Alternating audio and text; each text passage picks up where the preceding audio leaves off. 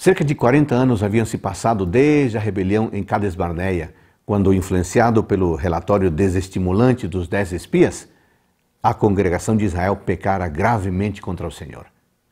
Esse ato de desprezo, de desconfiança da promessa, bem como a ingratidão a Deus que os havia libertado do Egito e conduzido miraculosamente até ali, isso acarretara severo juízo contra a nação. Nenhum dos ali presentes, maiores de 20 anos de idade, entraria na terra prometida.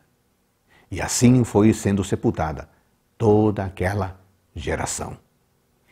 Nesse ínterim, mesmo antes de entrarem em Canaã, os israelitas haviam conquistado muitas terras ao oriente do Jordão, sendo suas principais conquistas os territórios de Seom e Og, reis amorreus.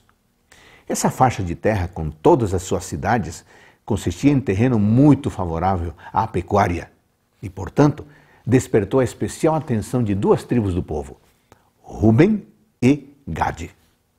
Demonstrando haverem aprendido com os erros de seus pais, em atitude humilde, os filhos de Ruben e Gade foram até Moisés e, com cuidadosas e servis palavras, solicitaram a posse da terra. Se encontramos favor aos seus olhos, Permita que a posse desta terra seja dada a estes seus, seus servos e não nos faça passar o Jordão. Podemos deduzir pela resposta pronta dada por Moisés que rapidamente passaram diante de seus olhos as cenas da anterior rebelião às portas de Canaã, quando o povo clamou por que, por que o Senhor nos traz a esta terra? Por quê? A resposta dada aos suplicantes foi dura e áspera. Por que, pois, desanimais o coração dos filhos de Israel, para que não passem a terra que o Senhor lhes deu? E irão vossos irmãos à guerra, e ficareis vós aqui? Moisés lhes passou um forte sermão.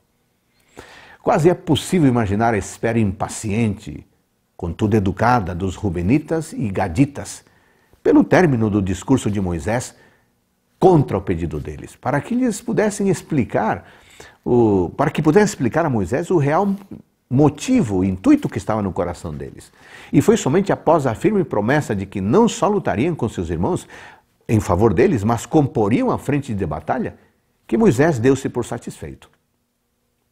O livro de Josué registra que eles foram fiéis às duas promessas que fizeram, indo à frente de seus irmãos ao entrar em Canaã. Josué capítulo 4, versículo 12 e lutando as suas batalhas até que todas as tribos conquistassem seus territórios.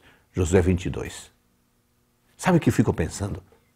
Respostas precipitadas como a de Moisés, quase sempre são dadas sem consulta ao Senhor. Por isso a Bíblia nos aconselha a sermos alguém pronto para ouvir, tardio para falar e tardio para se irar. Tiago 1,19. A lealdade e fidelidade dos filhos de Ruben e de Gade é uma outra lição importante para nós. Mesmo depois de muitos anos longe de casa, mesmo Moisés já tendo morrido e mesmo estando sob o comando de um novo líder, eles mantiveram a sua promessa feita diante do Senhor. E Deus os honrou, concedendo a posse da terra que haviam pedido. Josué 22, 9. De tudo isso, amigos, resta-nos a seguinte reflexão: que tenhamos palavras sempre prudentes, firmes, dignas de confiança, como foi ensinado por Jesus. Ele disse: Seja, porém, a tua palavra sim, sim, não, não. O que disto passar, vendo o maligno. Mateus 5,37. Que sejamos leais em nossos compromissos e em nossas palavras também. Ótimo dia para você.